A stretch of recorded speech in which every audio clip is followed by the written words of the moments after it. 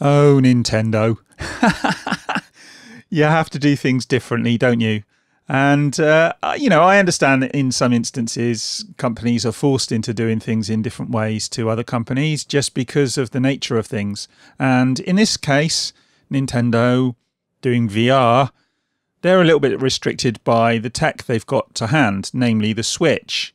Uh, the Switch hasn't got the raw power to do VR in the same way as a PC or even the PlayStation. So Nintendo have done their usual thing and gone about it in a different way. It's interesting because they've kind of tried to incorporate VR into Labo. So the Labo sets we got last year where you, you know, create constructions out of cardboard and then put your Switch in them and, and make various toys like pianos and cars and you can play racing games and all that kind of thing. But now we've got the VR version. And I haven't really talked about this before because, well, I was kind of a bit meh. I wasn't really that interested. But it has kind of come to my attention now because this last day or so we've heard that we're actually going to get Super Mario Odyssey and Zelda Breath of the Wild in VR. I, I don't know if you guys can see where I'm going with this, but but basically for me, I think there's a real problem here because if you look at the PlayStation VR, one of the issues I've always had with PlayStation VR, apart from all the crap that you have to attach to your head and the the nonsense you have to go through before you actually can get down and play a game, is the resolution. Now, PlayStation VR, you can kind of forget the limitations in the resolution to some degree but it does restrict what PlayStation VR can do. And that will be more or less of a barrier to you depending on you know your own personal preferences. I, I i find it a little bit difficult to get past. Nevertheless playstation vr is quite immersive and quite enjoyable once you do get past that limit in resolution. And it's not such a huge deal because it's 1080p across two eyes, so it's in half in, in effect. When you transfer that over to Nintendo's Labo VR or, or their Switch VR, that becomes more of a problem because the Switch screen, which is what you're going to have to use to kind of hold up to your head, and I'll get to that in a minute, but that's 720p. That means across each eye, you're going to have 360p per eye. Now, I was looking at the video for this announcement on YouTube this morning, and it's 1080p 60. And what I did was I actually went in and I changed it, and I changed it down to 360p. And when you change it down to 360p, the, the pixels on the screen become extremely obvious. They're very evident.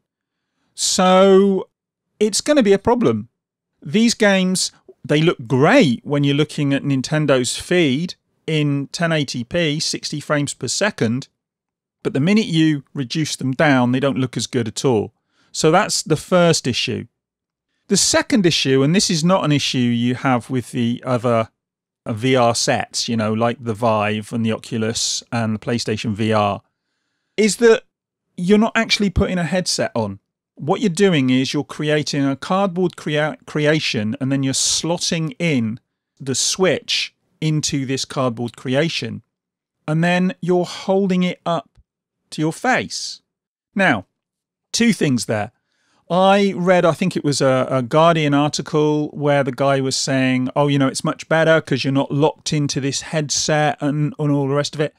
And my initial response to that was, well, that's why it's immersive if you're holding this up to your head and you know you can just take it away at any time you haven't got that immersion that you've got in VR which is what VR is all about. You know one of the reasons why you can forget about some of the issues with resolution with the PlayStation VR is because you are immersed in it. You are kind of in that world. When you're holding it up to your head I can't see that that would be as immersive and then when you factor in the resolution as well, that's going to be an issue. Now, the other thing as well is that, well, you're holding it up. So, in order to play these games, you literally have to hold the Switch up in front of your face, and then you've got the weight of the Switch, and then you've got the weight of the cardboard added to that, and the Joy Cons if you're needing them for that particular use. So, this is going to get tiring very fast. And again, in the Guardian article, the guy's saying, oh, you know, it's really good because you can play a bit and then you can hand it off to someone else to have a go and all the rest of it. But that kind of defeats the whole object for me. You know, you're handing it off to other people. One, you're losing your immersion, as I said before. But the other thing is, you're going to hold it there and it's going to get extremely tiring. Now, maybe that's not going to be so much of a case when you're playing these you know the small little party games that you're getting in the, the vr plaza game which uh, i think has a load of mini games in it. That's not going to be such a big deal because you're going to have a quick blast pass it on to the next person. That should be okay.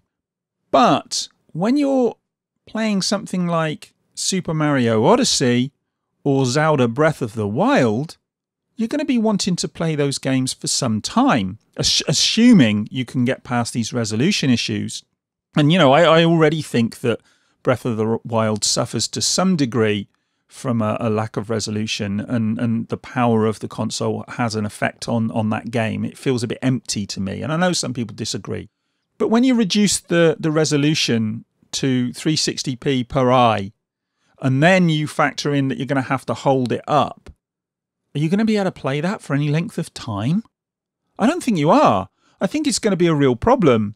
And then the guy said, I didn't have any, any real effects on it apart from the fact that when I took it away, I had marks around my eyes. Yeah, from pushing the cardboard onto your face. I don't think it's going to be, be very practical for long gaming sessions at all. And so games like Super Mario Odyssey and Breath of the Wild, it it's going to be a curiosity to have a go playing these games in VR on the Switch. It's going to be uh, uh, something that you try and have a bit of a laugh with, but you're not going to be able to play for any length of time. So that's that's that's a real problem for me. On the flip side of that, when you look at VR Plaza and all the mini games in there, I think it becomes a bit more interesting because uh, you know all the stuff about handing it round how that'll work i don't know because again as, as, i say you haven't got that immersion that you've got in vr and the games do all look you know very small and you know party game-ish and whether you like that sort of thing or not is down to you.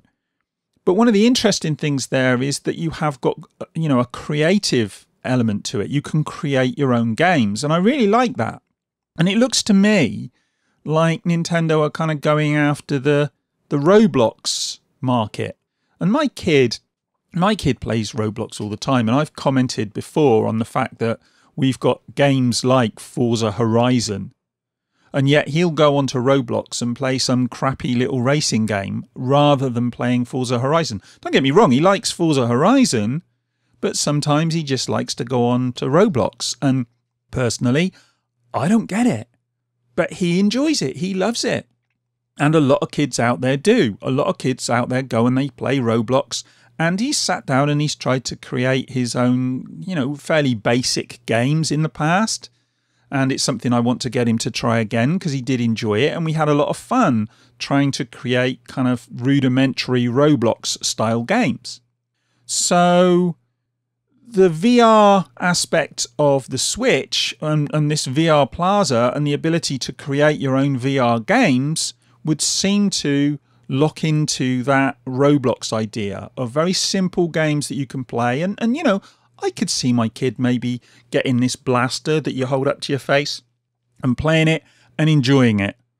So, you know, maybe this isn't for me. And and this is the the interesting thing here. I, I think that while I have real issues with this, and I, and I think it's thoroughly unconvincing from my point of view, maybe I'm not the market.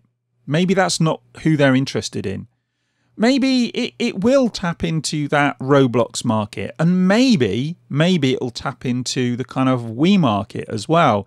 The sitting around with your family, just having a bit of a laugh for half an hour, an hour, and then forgetting about it. Ultimately, I think this is a fairly throwaway thing. And, you know, maybe the price m- might be something that stops people getting into it. But when you compare the price of this against, you know, most VR kits, which run into hundreds of pounds, then the Nintendo Labo VR kit, the Toy-Con 04 as it's called, is a lot cheaper. The full kit is 70 quid, 69.99 and the cut down kit is 49.99 and I think you get a lot more with the full kit. You get the there's a kind of camera thing that you can use on an arm and there's a, a, a bird kit that you get with it as well and and the gun as well on the in the full kit. And I think the cut down kit you just get the gun and uh, which is built out of the Labo cardboard stuff. So you know, the, I think the full kit probably looks like the the best one. Although you know, I, would have to see it to see what one was the best one. But yeah, I, I I kind of am in two minds about this. I think the resolution is going to be terrible. Looking at the video, as I said earlier, looking at the video and then reducing it to 360p on on YouTube made me realize just how poor the resolution is going to be on this. Holding it up for any length of time is going to get extremely tiring. You're going to get a sore neck, your arms are going to ache. So playing it for any length of time is just out of the question. So Super Mario Odyssey and Breath of the Wild, I can't see anyone playing them fully all the way through in these modes. I just can't see it happening unless you're a complete masochist. But as a bit of fun with your family and as something creative that you can do as a kid, you know, tapping into the Roblox market and and offering a kind of almost a, a kind of digital Lego approach to making games, I think it does have something there. I really do. So my initial feeling when when this first was announced, my initial feeling was to just laugh at it, and I still part of me still wants to just laugh at it. But maybe I shouldn't laugh at it. Maybe I should laugh with it. Maybe it is going to be a lot of fun.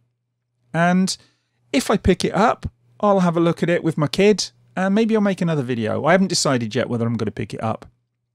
It's not hardcore VR, let's be honest, but maybe it is going to be a lot of fun. So that's where I am at the moment. I'm kind of on the fence. Let me know what you guys think.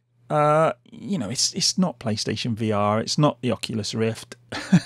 it's none of those. It's just not. It's going for a different market.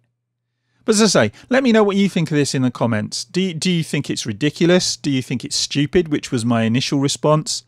Or do you think it might have something? And do you think it can be a lot of fun? Or are you like me and kind of stuck in the middle and can't make your mind up? It's out next week, so we'll know more about it then, and maybe some of us will get our hands on it and have a look, and then we'll know more. But for now, I don't know. It's Nintendo, isn't it? and this is what Nintendo do. Right, anyway, that's me done. I will uh, speak to you in the next one. But in the meantime, I'm going to go and get myself a cup of tea. Bye.